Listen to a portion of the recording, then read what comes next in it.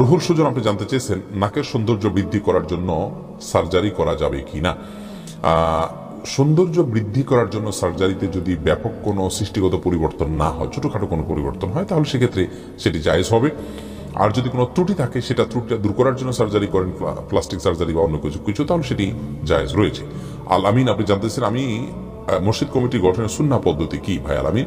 মসজিদ কমিটি গঠনের জন্য কোরআনে কারিমের বর্ণনা অনুযায়ী চার গুণ বিশিষ্ট মানুষকে মসজিদ কমিটিতে অন্তর্ভুক্ত করতে হবে। আল্লাহ বলেছেন, ইন্নামা ইয়ামুরু মাসাজিদ আল্লাহ মান ওয়াল ইয়াউমিল আখির ওয়া আকামা সালাহ আতা যাকাত ওয়া লাম ইয়াখশা ইল্লাল্লাহ। যার অর্থ হলো, নিঃসন্দেহে আল্লাহর ঘর আবাদ করবার নৈতিক অধিকার রাখেন ওই সমস্ত ব্যক্তিবর্গ, যাদের মধ্যে এক, আল্লাহ এবং আখরাতের প্রতি ইমান এবং বিশ্বাস আছে প্রচন্ডভাবে প্রবলভাবে, দৃঢ়ভাবে। দুই, যারা সালাদ কায়েম করেন, তিন যারা জাকাত দেন এবং চার যারা আল্লাহ ছাড় কাউকে পরোয়া করে না, সত্য প্রতিষ্ঠা করার ক্ষেত্রে একেবারেই তারা অবিচল থাকেন। এই চার গুণ বিশিষ্ট মানুষকে মসজিদ কমিটিতে অন্তর্ভুক্ত করতে হবে এই কারণে আয়াত অনুযায়ী।